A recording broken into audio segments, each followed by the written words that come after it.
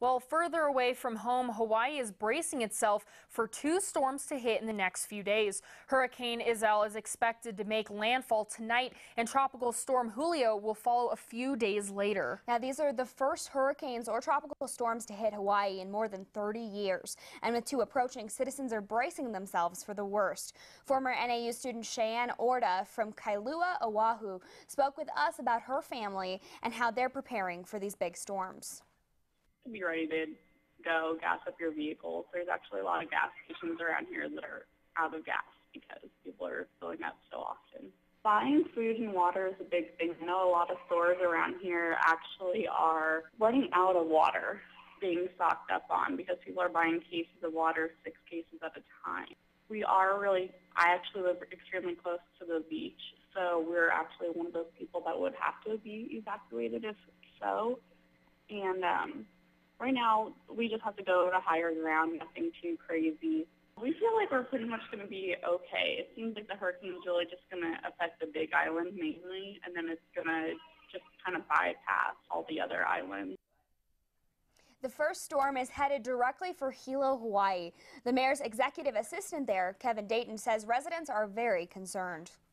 We haven't even had a tropical storm directly hit this island since 1958. We've been so lucky, people are sort of used to seeing the storm veer off at the last minute, and it just doesn't look like that's going to happen this time.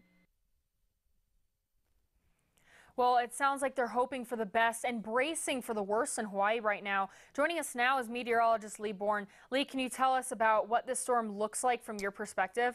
Well, certainly uh, Hurricane Iselle is imminent and is going to hit the Big Island tonight. It's already moving in. And then we have our second storm, which is Hurricane uh, Julio, which is still a thousand miles away from the Hawaiian island chain. Here is Hurricane Iselle, and this one will hit the Big Island tonight. It's just about 100 miles off the east coast of the Big Island of Hawaii. We're going to zoom it in a little. Here it is on the visible satellite imagery. A pretty good eye earlier, but now it's starting to lose its structure. Notice how it just kind of starts to spread out and get disorganized. Here's the big island. Then we start getting into Oahu, Maui, and Kauai. Those islands will get hit tomorrow in a much weaker state. The storm system is moving to the east southeast and outer rain bands are already starting to make its way into Hawaii. The big threats with this storm system are going to be the damaging winds. It's not a super strong storm. Right now winds are at 75 miles per hour. There will be a big storm surge and that's always a big threat with flooding and there'll also be some flooding rain as well as this thing moves through overnight tonight. Here's the current look at the radar, the big island